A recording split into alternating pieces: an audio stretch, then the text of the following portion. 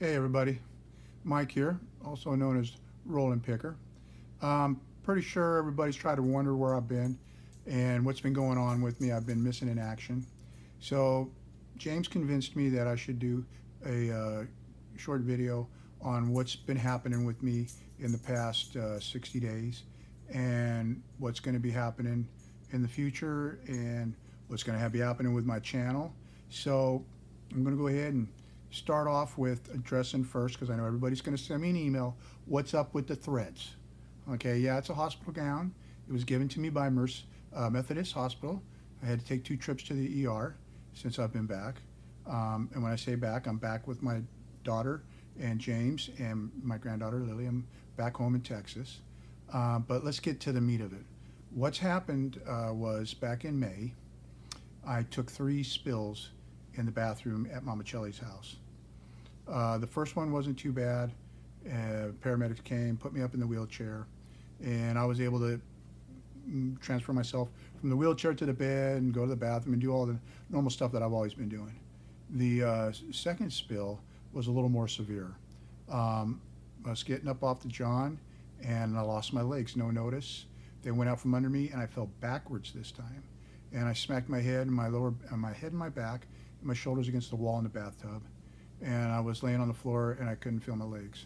So the paramedics came, longboarded me out of the bathroom, got me to Sutter uh, Medical Center. And while I was there for seven hours, they did uh, some scans and MRIs and some other stuff.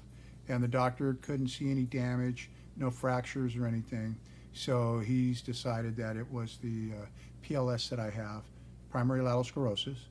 Uh, it's the PLS that's advancing. So lucky for me, the PLS is, is not fatal. It's, dis, it's very disabling.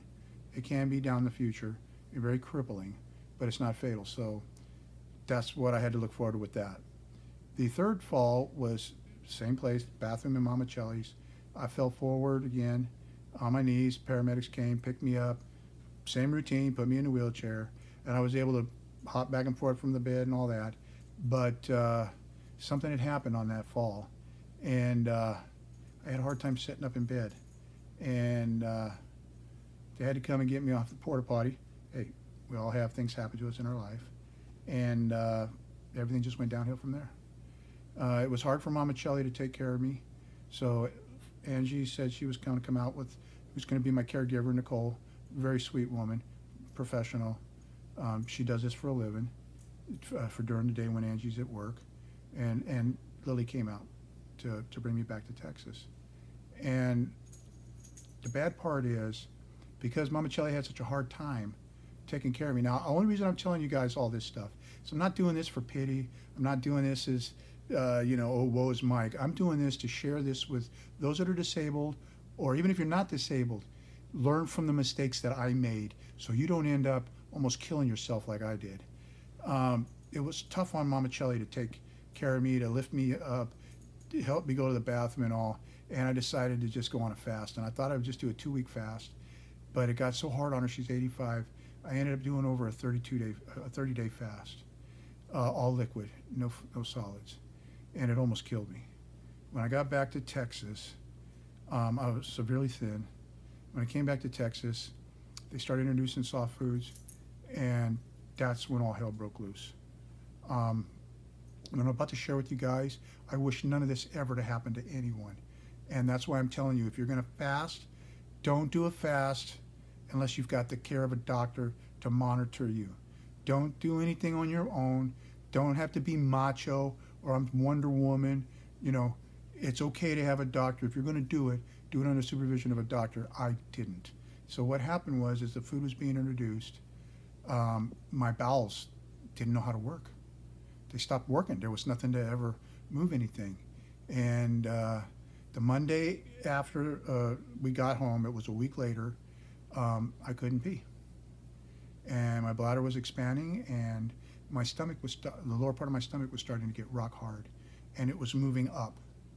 And I got concerned. We called the ambulance. They got me to the to the hospital. I was the only man in there screaming for a catheter. So they put one in. They pulled out a liter and a half of urine out of me.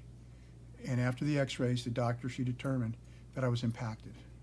The lower bowel was impacted with food that had digested, but because the bowels didn't know how to work anymore, because I was an idiot, thinking I was helping Mama Chelly, I was actually hurting myself even more. Um, I had to do something, or I was going to become septic, and that is another thing in its own. It can kill you. So I almost killed myself.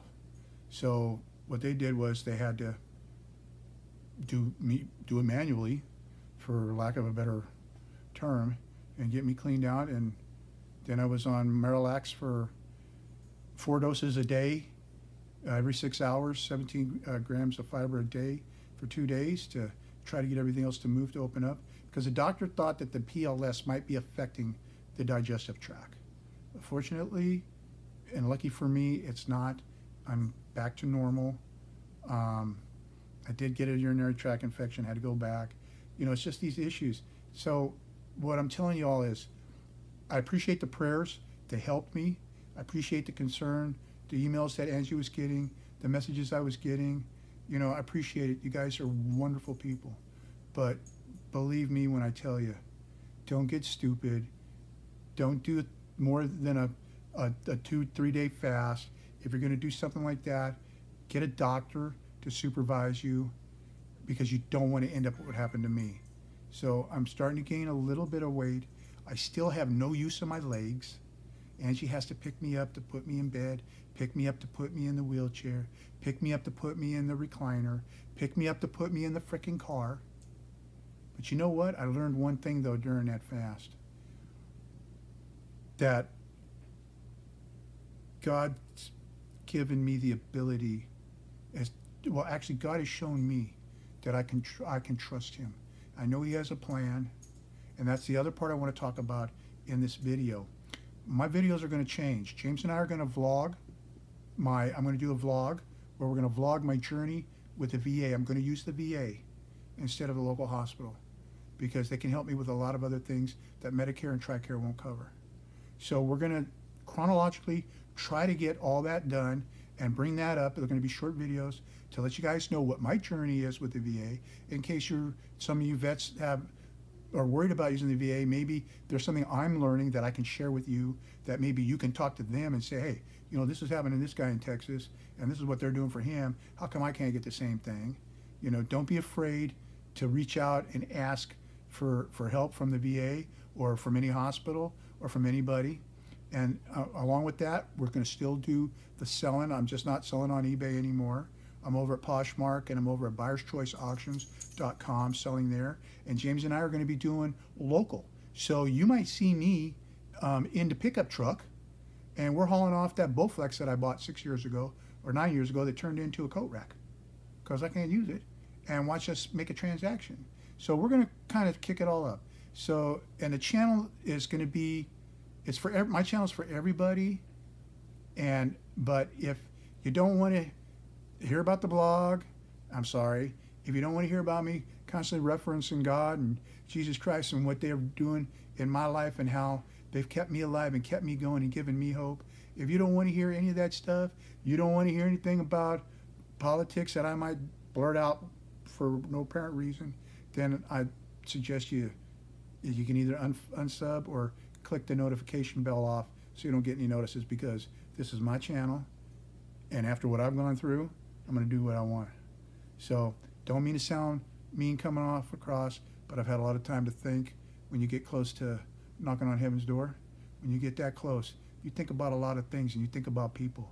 You think about those friends that you got and what they mean to you and what your family means to you. And just the breath that you take every morning you wake up and how you cherish it. And you thank the good Lord. I thank the good Lord every day that He has me at least being able to set up, even if it's for three hours a day, before my back is screaming, my legs, and everything else in my body goes numb, numb, numb. You know, this this is my channel. This is how it's going to be. And again, I want to thank everybody that sent me the well wishes. Um, there'll be more to come, and uh, I hope that my journey will will help others. And uh, you know, all I can say is I, I hope that God blesses you all with much success, great health, great family life, great kids, great everything, man. You all deserve a double portion. And I'm asking God for that. So we'll see you guys in the next uh, video. Hopefully it'll be the vlog. And we'll see you then. Rollin Picker out.